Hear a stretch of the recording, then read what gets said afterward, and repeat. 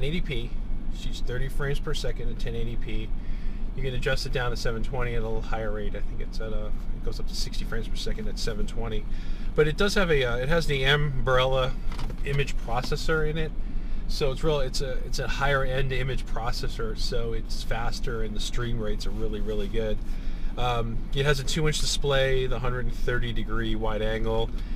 It has the video format as in movies. It's for MOV, which is QuickTime. Not a big fan of that personally, but it's not definitely not a negative. Um, it does, yeah, it does 720 at 60 frames per second, and the image format uh, resolution is 4 megapixels.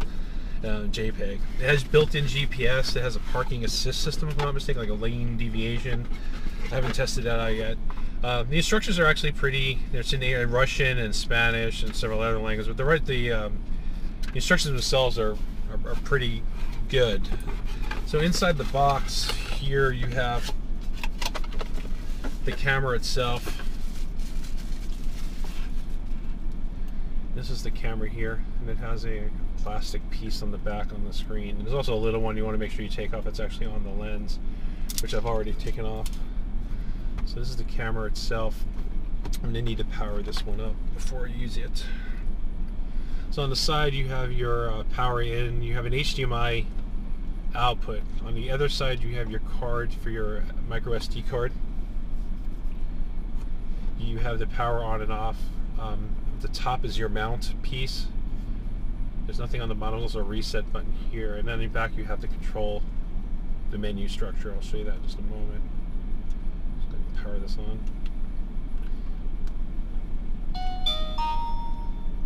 This sounds like a doorbell. And that's the monitor.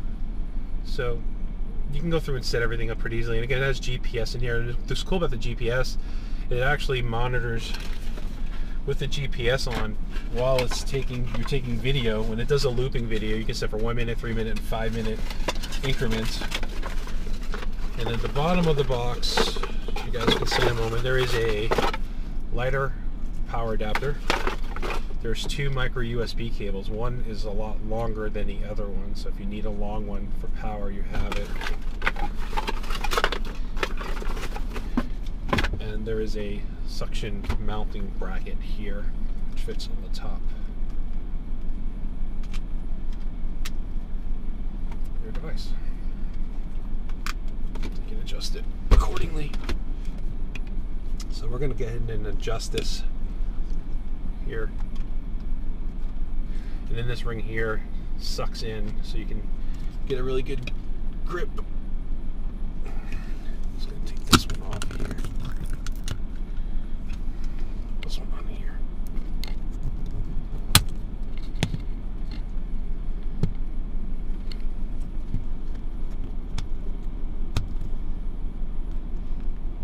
Awesome. Okay, so let's go and take a look at it. So that's that's it right there in a nutshell. So it hasn't picked up, it hasn't locked into the GPS signal yet, which is interesting. The GPS is right there. This shows you the cards in. It's on power, and that's showing your a um, your video. Right now it's at uh, 1080p.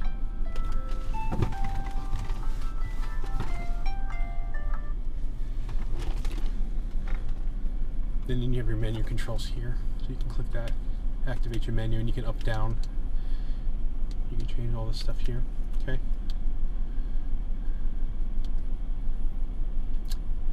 So that is it. I'm gonna go ahead and drive around a little bit just real quick and get some video. And I'm gonna do is I'm gonna attach the video to the end of this review so keep watching. A couple other things that it does have it has a collision detection so if the car gets banged while it's sitting here it'll power off after a little while. So it'll power off and see it just it just locked in just now to the GPS system here so it's green now by the way we're watching it. Now it's recording in GPS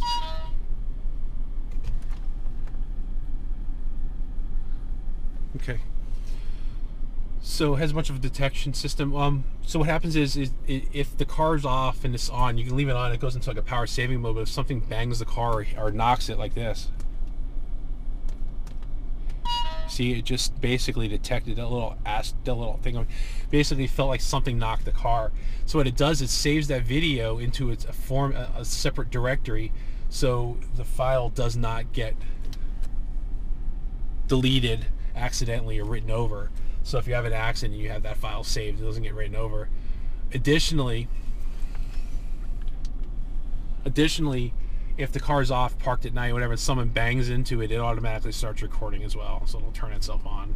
If you park the car, you don't need to turn it off. It'll power down, and then when you go to start the car again and you go to move later, it'll power itself on for you. So it's got a lot of cool things. Um, in terms of the lane shifting, I'm not sure exactly how that works. I have to test that, and I'll, I'll do a little write up and see if I can do a video on that as well. Um, that is about it. I think it's stopped recording right now because we're not moving. So if we start moving, it should go into record mode automatically if I'm not mistaken. So let's go ahead and see what happens here. See now it just started recording because we just started driving. So the recording started and then when I stop the car in a couple seconds it'll turn itself off in terms of recording. It'll stop recording. So let's go take a look at that and see how it works.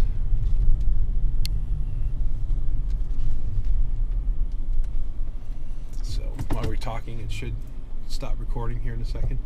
But anyway, that's it. So there's a lot of a lot of good stuff built into this. There's a lot of brains into this. You know, a lot, it's it's a really nice system. It's a, I think it's currently listed at 169 dollars. A little pricey, but I think because of the quality that you get with it, you get the large display in the back. It's very, you know, it does not have a rear camera. Uh, I haven't tested another one that has a rear camera. I see it just stopped recording just now because we stopped moving. It stopped recording. So all good things. This is good stuff. Um, it's a great camera. I'm going to fool around with it a little bit over the next day or so, see what I can, you know, test wise what I can do with it, and I will do my write up and review.